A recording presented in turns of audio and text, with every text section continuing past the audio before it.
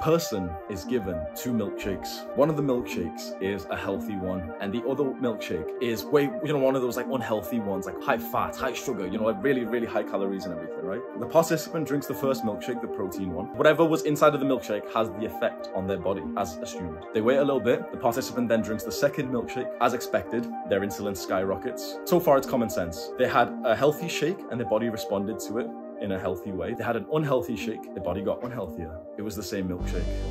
They were given the same milkshake twice, but their body literally responded to it in a different way. They put on more calories and more fat just because they were told the second milkshake was more unhealthy. That should blow your fucking mind.